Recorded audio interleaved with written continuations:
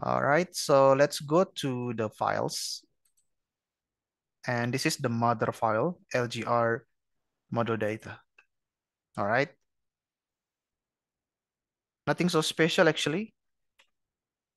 We have run spec, start, metric, the unit, right? Unif oil, water, gas. All right, the component, the phase, this gas, all right? This is for the case. It's not the main thing in our particular video right now. No echo, implicit, DIMENS, rec dims, step dims, everything. No, nothing special. But here we have this one, the, the first keyword, LGR. All right, so if you want to understand what does it mean, all right, you need to go to the manual. All right, you need to go to the manual. And for this particular keyword, actually we want to we want to tell the navigator that I will have two LGRs, all right? The maximum numbers of cells in each LGR is 100,000, all right?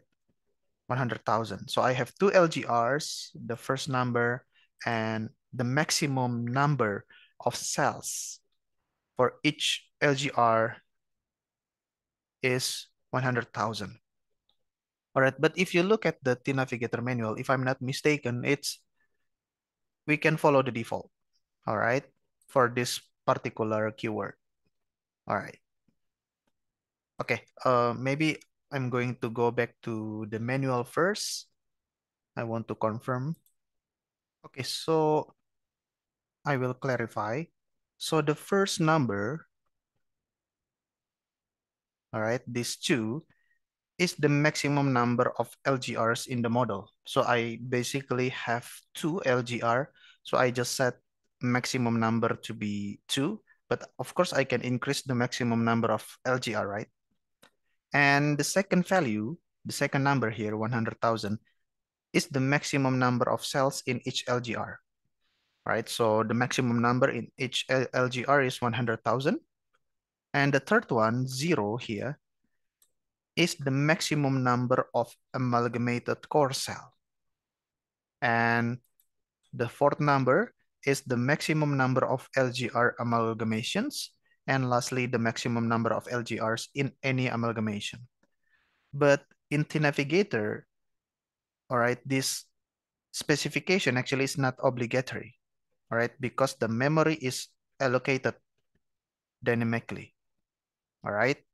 So Yep, for this one, you can you can just follow the default by T-Navigator, okay?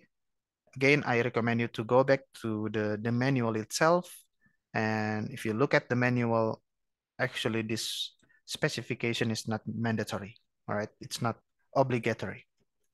All right, and then we go down grid, all right? This is for the grid section, init for initialization. And here, of course, we have include this one, the grid. We include the grid into the into the this one into the model, of course. But the LGR will be defined by using this include file. So the name of the file in this case is lgr underscore model underscore lgr. So we are going to go to this file later. All right, and then props, stone, and then for PVT for relative permeability, nothing special. Region, all right, this is for the region. Solution for initialization, and then summary, and then the schedule. All right, so the only different thing in this case is here. Oh, sorry, not that, this one.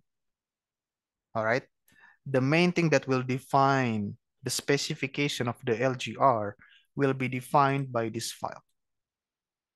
All right, so let's go to those to the file. We can find that in under the grid and this one. All right, so this is the main thing. If you want to have LGR, you use the keyword CARFIN.